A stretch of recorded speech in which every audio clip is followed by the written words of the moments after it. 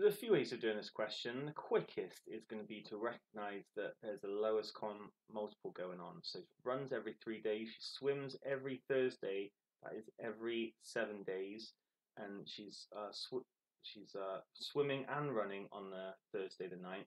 So when is she next going to run and swim? Well, we are looking for the lowest common multiple of 3 and 7.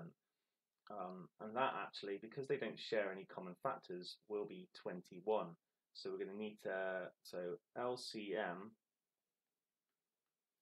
of 3 and 7 is 21. And then we can just add 21 days onto the 9th of November.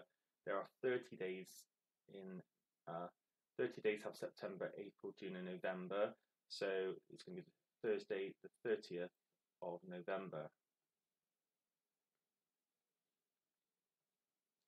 Um, that's the quickest way.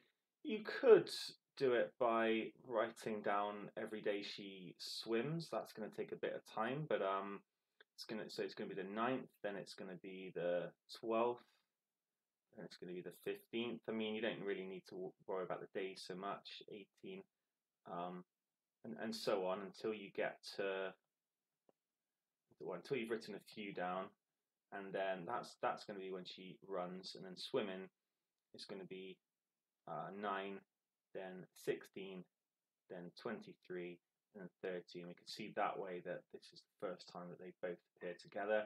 That works absolutely fine as well. You just then have to realise that that is also a Thursday and we get the same answer.